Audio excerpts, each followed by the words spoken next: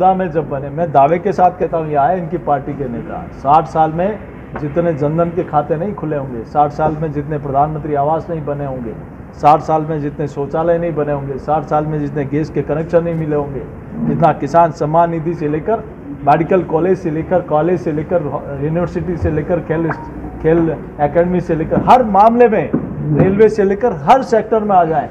मैं दावे के साथ कह सकता हूँ वो नौ नौ साल में मोदी जी ने सात साल से बेहतर काम किया है। उनकी मार्केटिंग को उनको करेगा राजस्थान कैंपेन को लेके भाजपा के प्रदेश अध्यक्ष सीपी जोशी आज कोटा आए हैं। लगातार इस बारे में कार्यकलाप कर रहे हैं। सर कोटा जो आना हुआ है आपका कोटा जिस वजह से आया? नहीं सहेगा राजस्थान ये कैंपेन पूरे प्रदेश में चल रहा है। 16 तारीख को माननीय राष्ट्रीय अध्यक्ष जी ने इस अभियान की शुरुआत जयपुर की तरह से की। आज राजस्थान में जिस प्रकार से 2018 में एक ऐसी सरकार चुन के आ गई जो चुनने के बाद राजस्थान की जनता के साथ धोखा देने के अलावा कोई काम नहीं किया। उन्होंने काम संपूर्ण कि- कर्जा माफ़ करेंगे किसानों का। किसान निश्चिंत हो गया, लेकिन आज चालीस हज़ार से ज़्यादा किसानों की ज़मीन नीलाम होने के कगार पर है। कई किसानों ने आत्महत्या कर ली। आरोप लगाकर मुख्यमंत्री के ऊपर कि आपने हमें धोखा दिया। आज मैं आत्महत्या कर रहा हूँ। उन्होंने बेरोजगार युवाओं को कहा, हम बेरोजगारी भत्ता देंगे। बेरोजगारी भत्ता तो नहीं दिया, लेकिन राजस्थान के लाखों युवाओं का भविष्य बर्बाद करने का काम किया। और उसमें पूरी की पूरी कांग्रेस पार्टी और सरकार इसमें संलग्न है। ये राजस्थान में नारी की सुरक्षा नहीं कर पाए। आज रोज़ कहीं कहीं स्कूल में हो अस्पताल में हो एंबुलेंस में हो आ, मुखबदिर बच्ची हो छोटी मासूम बच्चियाँ हो जिस प्रकार के दुष्कर्म के केस आ रहे हैं लगता है कि अपराधियों में भय नाम की कोई चीज़ नहीं ज़िंदा जला दिया जाता है मार दिया जाता है गैंगवार होती है। जहाँ आम जनता में विश्वास होना चाहिए अपराधियों में भय होना चाहिए यहाँ अपराधियों में विश्वास है आम जनता में भय व्याप्त हो रहा है। आप देखिए पूरे प्रदेश में किस प्रकार से भ्रष्टाचार के तांडव मचा हुआ है। आरपीएससी से लेकर कोई भी छोटा सा काम होता है या बड़ा काम होता है बिना पैसे दिए, और ये मैं नहीं, पूरे राजस्थान की जनता और कांग्रेस पार्टी के विधायक और मंत्री कह रहे हैं कि 50 टका के बिना यहाँ कोई काम नहीं होता। और आप देखें कि राजस्थान का योजना भवन, जहाँ राजस्थान के विकास की योजना बननी चाहिए, वहाँ करोड़ों रुपया और सोने का बिस्किट मिलता है, और उस विभाग का मंत्री स्वयं मुख्यमंत्री है। कैसे भ्रष्टाचार का तांडव राजस्थान में पहली बार इस प्रकार से राजस्थान की जनता ने देखा है?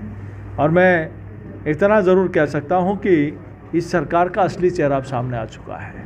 2018 में मात्र डेढ़ लाख वोटों के अंतर से ये सरकार चुन के आ गई, जिसने तुष्टिकरण के सारे रिकॉर्ड तोड़ दिए।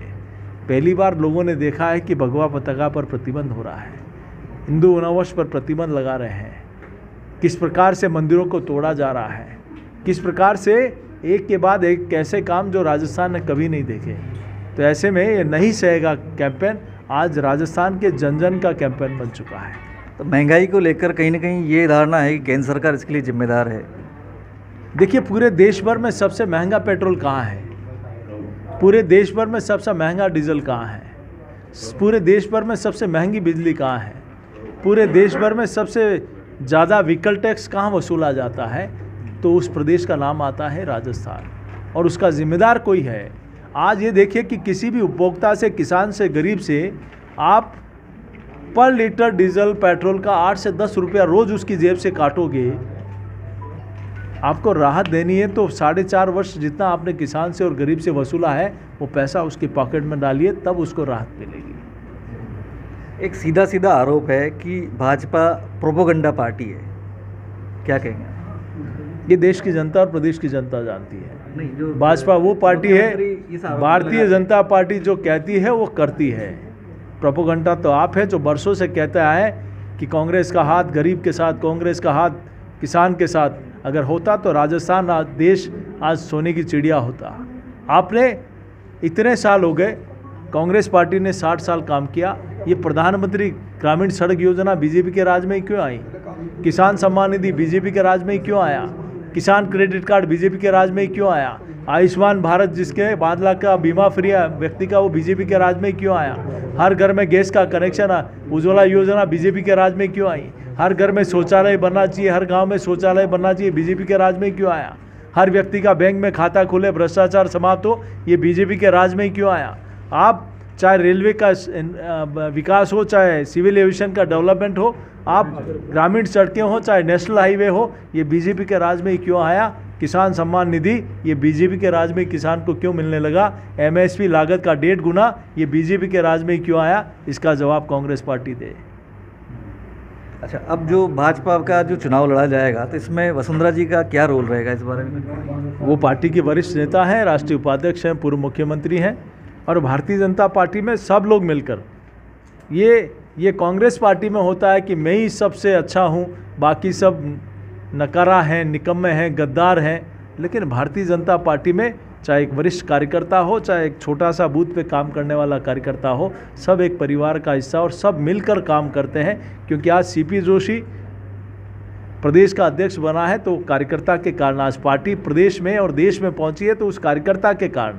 आज मैं अध्यक्ष के नाते सांसद के नाते यहाँ बैठा हूँ तो उसके पीछे कोई कारण तो भारतीय जनता पार्टी का वो कार्यकर्ता है और भारतीय जनता पार्टी का कमल का फूल है कि आज मैं मेरी ये पहचान है अगर ये नहीं हो तो सीपी जोशी को कौन जानेगा और कितने लोग जानेंगे? एक आखिरी सवाल है इस विधानसभा चुनाव में क्या परफॉर्मेंस भाजपा की है आपको क्या उम्मीद है? अब तक की गहलोत सरकार की योजनाएँ हैं अब तक की योजनाएँ अब तक की सबसे ऐतिहासिक जीत भारतीय जनता पार्टी की होगी ये रिकॉर्ड लिख लेना।